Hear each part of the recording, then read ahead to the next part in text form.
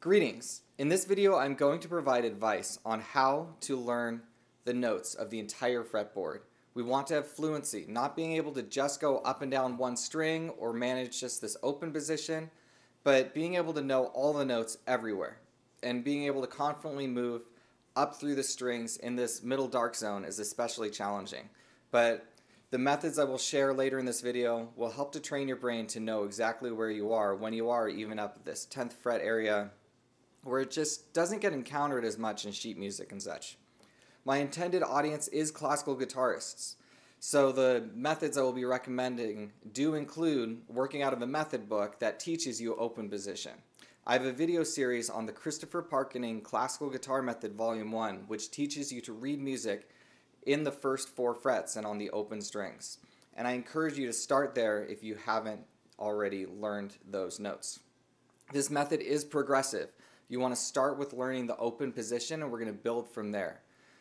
The following step is to practice really getting to know your note names from the get-go. We don't want to just connect the dots on the page to where that connects to the fretboard. We want to know what they're named, which is extremely important for being able to read music in different keys.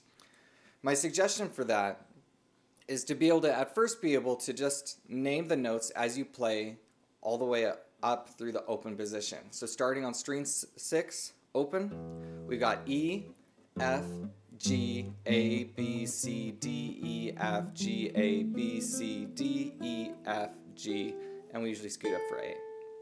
And being able to go backwards too. G, F, E, D, C, B, A, G, F, E, D, C, B, A, G, F, E. If that's easy for you, then it's time to push your limits a little bit and skip up, step back. what that looks like is to go E, G, F, A, G, B, A, C, B, D, C, and so on. If you can skip up, step back, skip up, step back, and do the opposite, returning back down, it's going to challenge you to be able to really know those note names and not just be learning to say the notes in order. Once you have that established, it's time to start moving up the fretboard what I've found to be most effective is to actually learn the notes in little stripes across the fretboard. So I learn all the notes at the 5th fret, the 7th fret, and the 10th fret. And the reason that's useful is that provides us a one-step reference point for every single fret on the fretboard. So if we've already learned all of the open position, that covers frets 1 through 4. Or really 1 through 3 on a lot of the strings, but that's still one fret distant from either 3 or 5. So if we know through 3 and we know 5, then you can step down from 5, step up from 3. Here's what that means. Let's say I need to know where F sharp is on the fourth string. Well, I know F is right here, so F sharp is just one step away. If I know the fifth fret notes, then I know G is right here, and F sharp will be one step backwards. So it fills in this gap just by knowing one step. It's a very simple brain process that you'll develop and become very fluent at. From the fifth fret, we gain access to the sixth fret. So if I know that, for example, D is right here, fifth string, fifth fret, then going up one fret is going to give me D sharp or E flat. So all of the sixth frets become available because I know the fifth frets. If I learn the seventh fret, then that gives me access to 6 again, but it also gives me access to 8. And then from 10, that gives us access to 9, and it gives us access to 11. And from 12, everything repeats. So E, A, D, G, B, E, E, A, D, G, B, and E. And from there, everything's exactly the same. And you just have to train your brain to be able to visualize where that nut, this white piece right here is referred to as the nut. And if you think of that 12th fret being like a second nut, then you can visualize where the notes are from there. How do you learn those vertical strips? Well, the most effective exercise I've come across is to simply practice steps and then steps and skips and larger skips and so on. Here's what that looks like. At first, we've got this A, D, G, C, E, A, E, C, G, D, A. It's a little bit of a brain stretch, but it's very good for being able to just compare where those notes are from where you're currently at. So, for example, let's say I'm playing a piece of music and I play C here and I need to know where G is. Well, if we practice like this, it's going to train us to be able to jump up a string and not have to count up the notes. So we looked at doing one string at a time, but now, once that's easy, we're going to add a step of difficulty. So now we have this A, G, D, C, G, E, C, A, C, E, G, C, D, G, A, D, A. So what I did is string six, four. I skipped over five and then I stepped back to five. So six, five, sorry, six, four, five, three, four, two, three, one. And then I like to do a little turnaround. Do one, two, one, three, two, four, three, five, four, six, five, six. From there, you can do larger skips. You can skip two strings and go from string six to string three and then back to string five. So it'll look like this six, three, five, two, four, one, three, one, four, two, five, three, six. And trust me, this is extremely effective for learning those notes. So for example, if I were to do that at the 10th fret, then I would have a D, then our F, G, A, C, D, F, D, C, A, G, F, D, C, D. It's a brain stretch, but it forces you to know what the notes are from different distances. And it, once you can get to the point where they just kind of rattle out of your brain, it's going to improve your ability to read music in these areas dramatically. And as I said before, once you know these confidently by doing those horrible little exercises, being able to just drop one fret or up one fret is going to be very easy.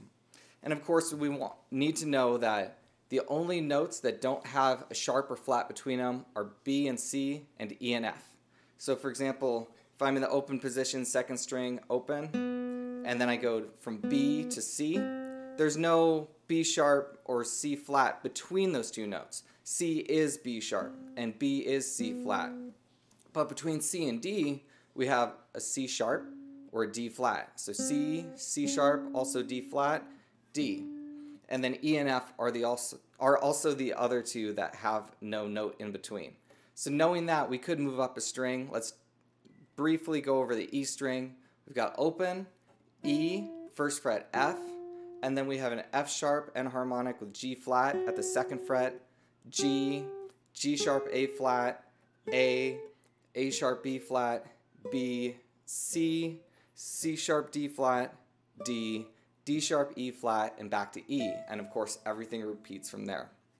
So if you did not know that already, there it is. Practice it, get it so stuck in your brain that you just innately know that B and C have no note between them and E and F have no note between them. You just have to memorize those two pairs, and the rest of them you can assume have an accidental between them.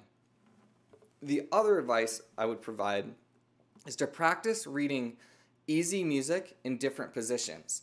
And don't just jump to fourth fret or jump to eighth fret or something like that. What I would encourage you to do is move progressively. You don't want to just dive into deep water. Start with the open position where you're most confident, most likely, and then try to read the same music, but don't allow yourself to use an open string unless you absolutely have to, which in that case would be your lowest E. So, when, if I'm going to play B, I'm going to use the fourth fret on the third string.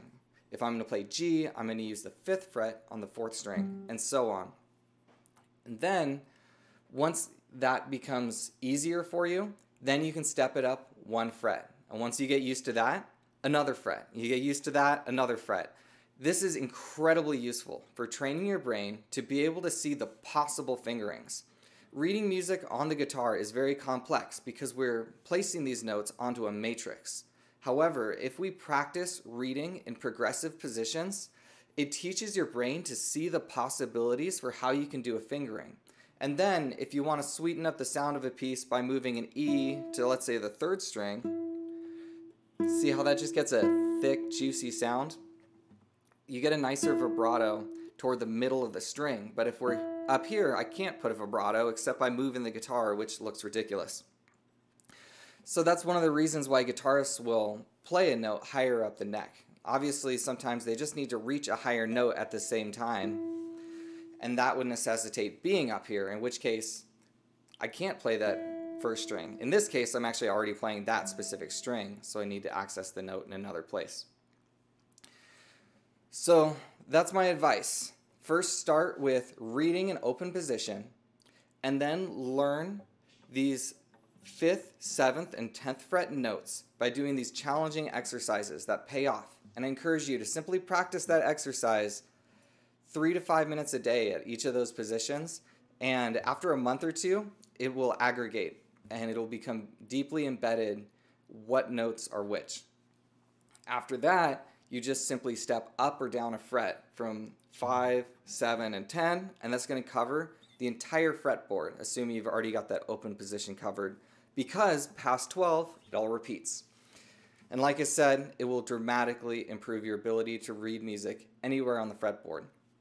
And then the last strategy was learning to read music in progressive positions. So limiting yourself to not be able to use, let's say I'm at the third position, I can use this open low six E string, but past there, I can't use any of these frets, strings one through five, fret one and fret two, or open.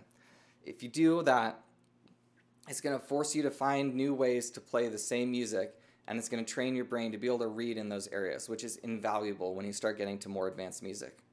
So I encourage you to practice this, stick with it. I would love feedback. If you could let me know if this was helpful to you, then I would be very grateful. Thank you very much for watching, and I hope that this was helpful to you.